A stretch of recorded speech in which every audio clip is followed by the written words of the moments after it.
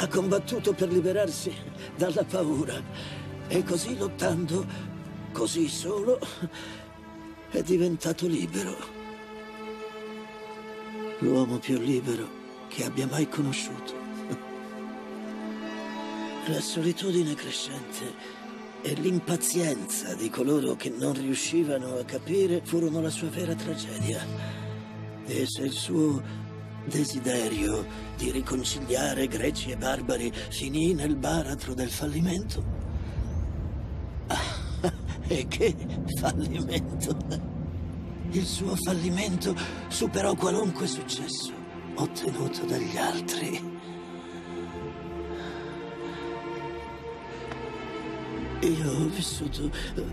Ho vissuto una lunga vita, Cadmo. Ma gloria e memoria apparterranno per sempre a coloro che seguiranno la propria grande visione.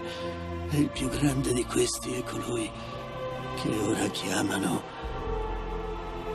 Megas Alexandros.